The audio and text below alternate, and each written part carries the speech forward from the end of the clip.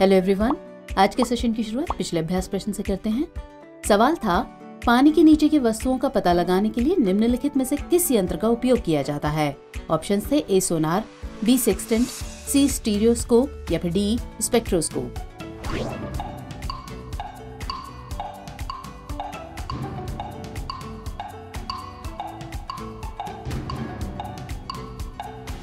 इसका उत्तर था option A sonar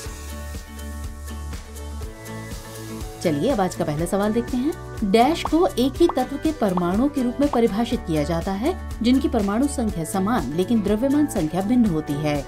isobar, isotones, isotope या फिर सम इलेक्ट्रॉनिक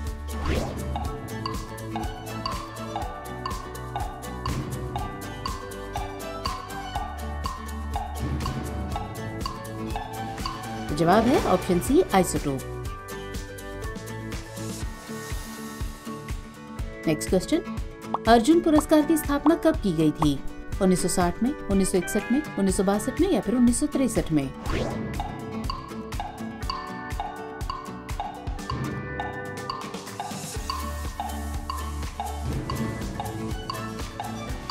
इसका उत्तर होगा ऑप्शन बी 1961 अगला सवाल. क्रोमोसोम डीएनए और डैश से बने होते हैं। वसा, प्रोटीन, खनिज या फिर कार्बोहाइड्रेट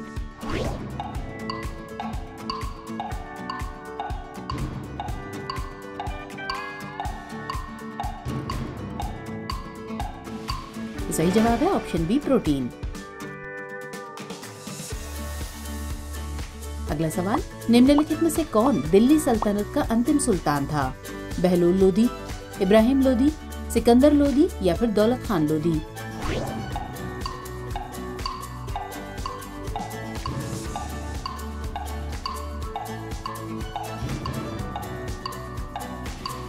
जवाब है ऑप्शन बी इब्राहिम लोधी अगला सवाल मैग्ना कार्टा या द ग्रेट चार्टर किस वर्ष में जारी किया गया था? 1210, 1215, 1220 या फिर 1225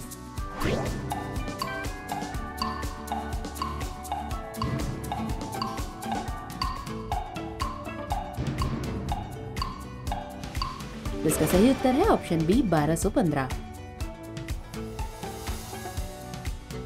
आगे बढ़ते हैं। डायनेमो यांत्रिक ऊर्जा को रूपांतरित करता है। प्रकाश ऊर्जा में, ध्वनि ऊर्जा में, रसायन ऊर्जा में या फिर विद्युत ऊर्जा में।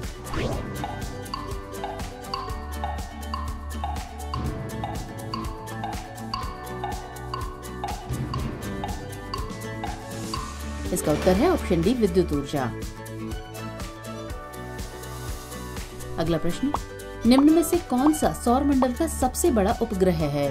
टाइटन यूरोपा हेगमोन या फिर गेनीमेड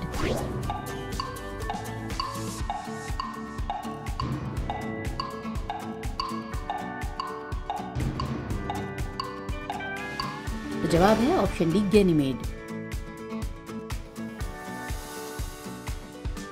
अगला सवाल देखेंगे। अगस्त्य मलाई बायोस्फीयर रिज़र्व स्थित है। पूर्वी घाट, पश्चिम बंगाल, पश्चिमी घाट या फिर डेक्कन प्रायद्वीप।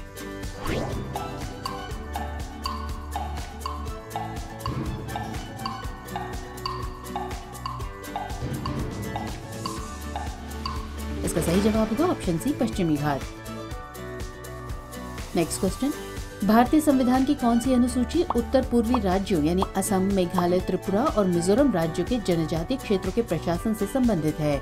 छठी अनुसूची आठवीं अनुसूची, दसवीं अनुसूची या फिर बारहवीं अनुसूची?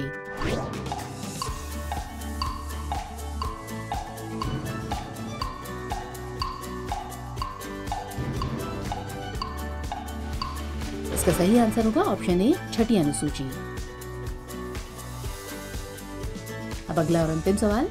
भारतीय रिज़र्व बैंक यानी आरबीआई की स्थापना कब की गई थी? 1930 में 1935 में 1940 में या फिर 1945 में?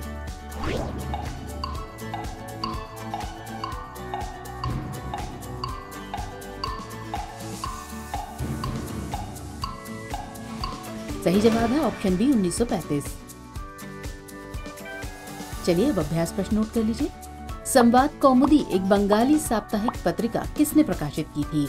ऑप्शन है A Swami Vivekananda, B Keshav Chandra Sen, C Raja Ram Mohan Roy, या फिर डी देवेंद्र नाथ टैगोर। तो प्रश्न का उत्तर कमेंट सेक्शन में देना मत भूलिएगा। हम हाजिर होंगे अगले एपिसोड में इस प्रश्न के उत्तर के साथ। तब तक के लिए जय हिंद।